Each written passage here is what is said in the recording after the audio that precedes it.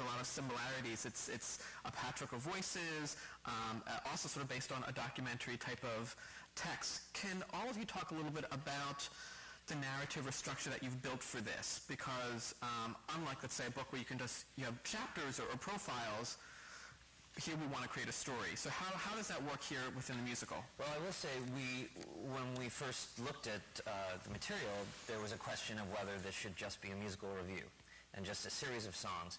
And having uh, spent the last five years trying to make the show working work, um, you uh, understand that without a continuing character, it's a major uphill battle to keep mm-hmm. people involved and invested and continually build uh, the tension and dramatic um, stakes of a, of a show. Uh, and so I lobbied hard for bringing in um, uh, central character, uh, and that was where Charles came in. Um, and Abby and I first sat down at her dining room table and talked about her experiences and tried to come up with a very loose outline because a blank page is probably the most terrifying thing to hand someone. So at least we were able to say, here's a great outline, now fly, make it your own. Um, and uh, that's, that sort of became our, our goal. Mm-hmm. Yeah, so we thought of this idea since on one hand we have all these different voices of these prominent Jewish people. Uh, I, th- I, thought maybe uh, with them that that uh, if we had some kind of continuing narrative that so so I invented a, a character uh, that has a, a, couple of Abby's experiences, but but very it's loosely. very I loosely. wasn't interesting enough. And so, and, and so it's this fictional character who's talking to the audience about her to this her, her life and where it, uh, she's brought up and um, really sort of agnostic, and then as what role do, does uh, ethnic identity play in um, in her life as we sort of her, as she kind of flashes back over her previous 40 years.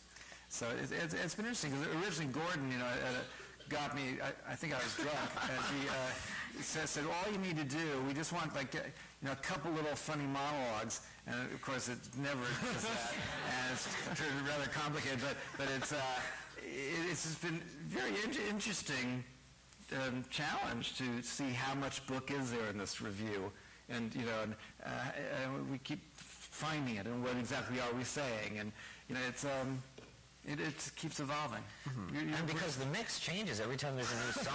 yeah, yeah. There's another flavor in there. Well, just getting it together for this uh, this reading was so invaluable f- uh, to see, uh, and we got this really fantastic cast, and, and, and shaping it around them at, at, for this just coming to here to Philadelphia. Um, we've so let's cut that, change this around, flip it so, you know, what I, I love, it's kind of almost my favorite thing in the world. I, you know, I'd never worked with Gordon before, and, you know, you know the jury was still out, kind of. And, uh, but the other, last week, it just, we had the most fun. We kind of ran through it once, and, and then Gordon had a whole bunch of new ideas, and we just, in 20 minutes, threw all the cards in the air and, and rearranged the whole thing. And so much better, and I just had the best time, and, and just thought, oh I, oh, I like this Gordon Greenberg. We're going to have fun. You know? So, uh, yeah, it was that's sort of the fun part of, of a musical and the mm-hmm. challenge too, but the Rubik's Cube of it all and, and yeah. sort of just changing all the colors. Oh, it would look better if we made this whole thing red. Okay. Um, the problem is then you have to teach the whole cast and the music director and the copyists and the orchestration. Yeah. Um, but we've got a, a, really agile group that yeah, kind of roll with it. Can you say a little bit more along those lines about how, how does collaboration work among the, the three of you? Are you are you sitting together doing this, or are you going off separately and, and, and working? How how's the process? Well, I'll place? start by saying that I actually took a really big step back, and I'm a control freak New Yorker, as my family knows, so that wasn't easy for me. But uh, the, these two are so talented; their reputation, reputations precede them, and I also knew as the author of the book that this was going to be a different um, piece that they were launching from something that I did as a journalist and something I obviously feel strongly about, but it, now it had to take a different shape. Mm-hmm. And so that has been really interesting, and because I feel like I'm in good hands, I'm trying to keep my mouth shut, although sometimes Gordon and Charles are like, stop talking, stop whispering. um, so it's, but it's, but that has been a step, I think, because you write, you write the book that's the foundation, and then you realize it's got to grow into something really, really different and separate. But then it was interesting, um, couple weeks ago, uh, or, or actually a month or so ago, um, I was sort of having trouble, I, trouble with it, and, and then I, I thought there, there, are, there is a certain element of, um, of Abby in this character, and, and then I, I just asked you, would you just just write just write down your random thoughts on these various subjects for me, and and uh, email it to me, and she just wrote the most beautifully articulate feelings about about just very personal things about faith and, and her experiences, and, and and some of it I just t- took verbatim and Thank just you. put it in, and I think it's uh, really beautiful. Thank you. So, you- so you, you kind of go float in and out. in and out of uh, involvement. Usefulness. Yeah, yes, yes. Exploitation. But she's also, I should say, this is a rare situation because not only is she the author of the book, but she's a musical theater person um, who was in Merrily We Roll On, one of the most all, all-time famous Flops. but filled with genius. Um, and, and is a, a noted commentator on that. So it's not like she doesn't also, once she takes a step back, she's, she's able to actually comment on this as a musical now. Charles, can you say a little bit more about your work as a librettist? Um, because I think it's sometimes it's a, it's a title or role that I think mystifies some people in terms of what it is that the librettist is, is doing. Do, are you writing insert song here? What, what, what happens when you're... This is a very different situation because it's not a, it's not a book musical, you know. And and um, it, what's what we, we're trying to figure out is, uh, you know, it's uh, on one hand sort of kind of two separate shows in a certain sense. It's, there's this play of this fictional lady that we keep vi- revisiting, and then there are these, uh, is- these standalone interviews with these well-known people. Um, but we did we early on discovered that that they they need to be more more connected, and, and we're finding more and more connections to to that. So my role is quite it's really it's quite different. I, I don't, I, and we're still figuring it out. You know, in a, in a book musical, you, traditional book musical, the, the um, book writer really does provide a, a whole context for the numbers, and and uh, uh, and, and different collaborations are, uh, go at it different ways. I know I've read that Terrence McNally um, will just write write the play and just overwrite it, and then the um, composers and lyricists come in and just ta take what they want to musicalize and, and, and do that. And I think there are other people who write in uh,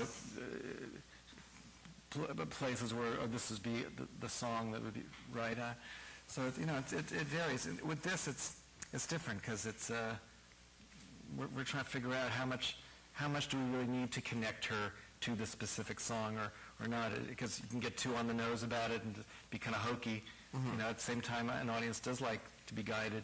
And I would just add that what did happen to me in doing this book is that talking to all these famous people affected my personal choices in terms of my faith or religion or identity. And that was totally unexpected. I didn't expect to feel more Jewish after interviewing a lot of Jews who actually have, are very disconnected from their Judaism. But I think that this character, who is separate from the celebrities, um, does, in that sense, represent what a lot of people feel whether they're Jewish or not, which is that you're having your own kind of experience, but you're also watching how public figures experience that same identity. Yeah.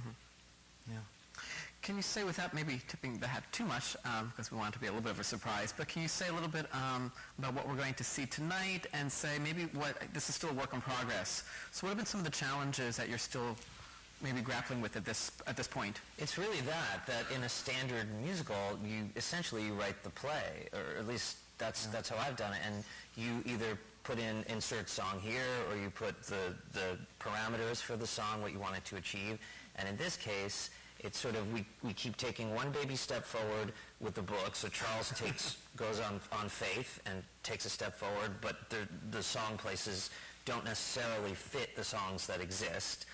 And then we'll take the songs and sort of start adjusting the book to it, and it's sort of one foot and then the next. And the question is, of course, is do you know? Um, is it necessary for the song the song to absolutely reflect what she's just the experience that she's just had, or uh, in a certain, certain sense, is it more just that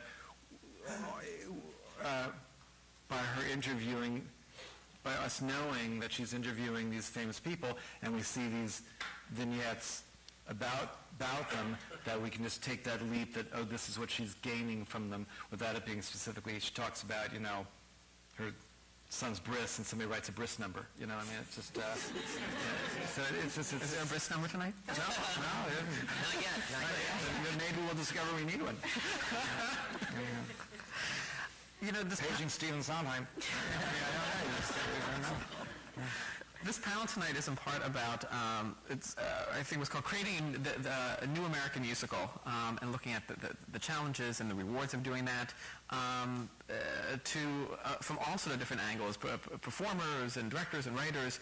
You've all been part of working in musicals. What's your current feeling about the, the landscape or the environment of creating a new musical today? Is it, is it, is it welcoming? I Is think it- it's great. I don't think it's ever been better. There's Glee, High School Musical. It's very much a part of popular culture in a way mm-hmm. it wasn't 15, 20 years ago.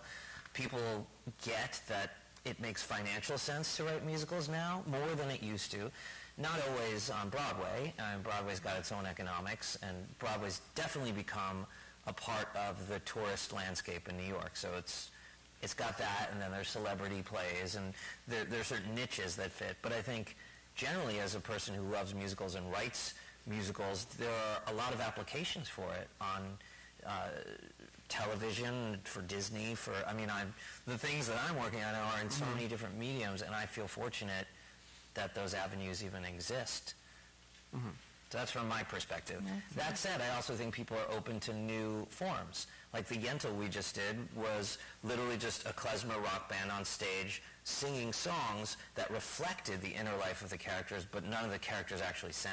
We mm-hmm. used it like a movie soundtrack. So it was just a new way of doing it to make the make the show feel juicy and exciting, but not necessarily singing your emotions to each other. Mm-hmm. The we're, uh, believe it or not, we're actually almost just out of time. So I have sort of one final question. Um, this is my indulgent question. Have you guys been watching Smash? Yes. Yes. How many of you have been watching Smash? Yes. So th- I'm asking this question because you know the show purports to be you know the real life behind the scenes of what goes on making a Broadway musical. What's your assessment of the show? Is it is it is it on the nose or, or no? No. Or I is mean, it? I love it. I'm watching with my daughter religiously, but I just I feel like, I mean, I was in one Broadway show, and I was lucky enough, and it was it was a, a full-scale disaster at the end of the day. but it was watching Stephen Sondheim and Hal Prince really wrestle um, with amazing music, um, a difficult script. But I just never saw the backstabbing that's in them. Oh my God! So I'm loving it. But, uh, we, we weren't involved with Spider-Man. I, don't think I was involved. With, uh, actually, the only Broadway show, I, I, uh, musical I was involved in was, was a, one of the big flops of the, the previous decade, Taboo, and that was really notorious. And oh, there was, and I and I did think at one point, wow, I, c- I could just write such a wonderful memoir about with these crazy, wild characters, you know, Rosie O'Donnell and Boy George, and I mean, it, it was just you just couldn't believe the, the drama going on. and I, I really could have written such a fantastic You should. book, but then nobody would ever trust you again. That's you know when you, you would come to the end of your career. Why would anybody want the spy to you know to be working for them? So you know, and I and I wouldn't want to you know um, hurt some of these people who I was very fond of. But the goal of Smash is to be a good TV show. Right. I don't think their goal is to bring verisimilitude to the masses. I think they're looking to create good characters and It's not get you kind of to- hokey though. You think they could go a little better. Yeah. That's why we have panels like this to show you what really goes on behind the theater. hokey. And on that note, we're going to end. Thank so you. thank you so much for, for discussing and, and